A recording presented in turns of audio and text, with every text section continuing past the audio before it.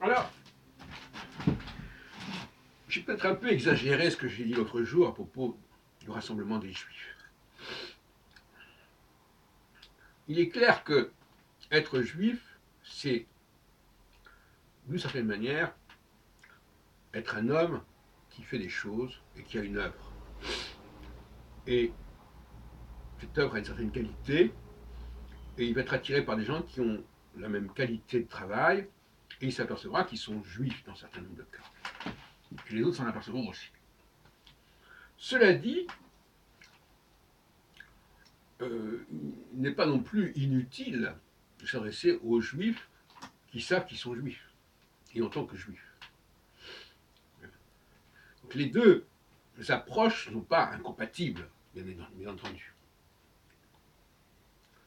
Pareil. Alors, c'est évidemment toujours délicat de prendre le problème par l'autre bout.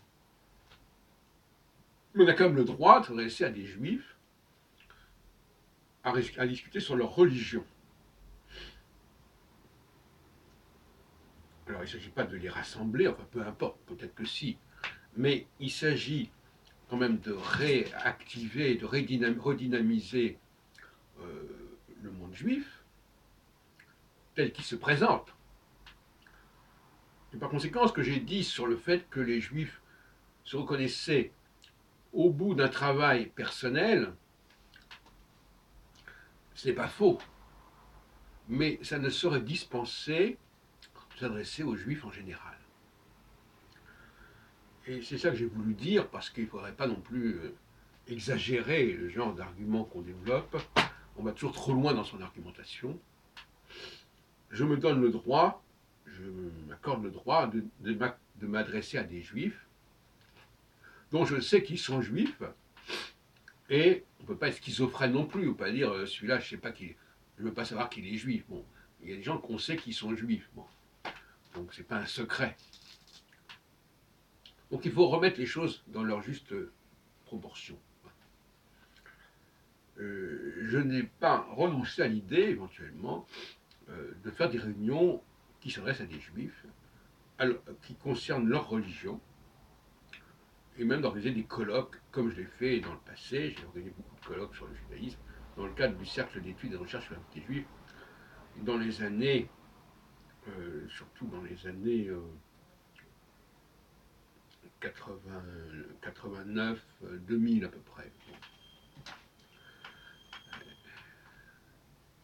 La dernière décennie du XXe siècle. Puisque l'an 2000 fait partie du XXe siècle. Alors, donc, je ne ferme pas la porte du tout à cela.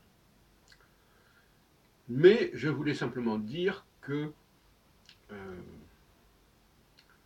se réunir en tant que juif et vivre en tant que juif en permanence, ce n'est pas la solution.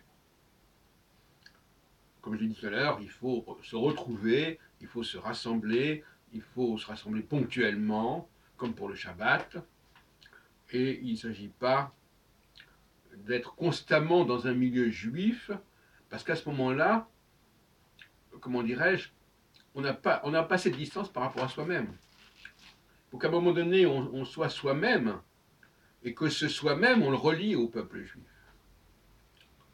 Il faut déjà être soi-même. Donc, je suis pour la dispersion. Pour montrer qu'un aimant marche, il ne faut pas que tout soit rassemblé. Au contraire, que tout soit dispersé. Et l'aimant va provoquer le rassemblement.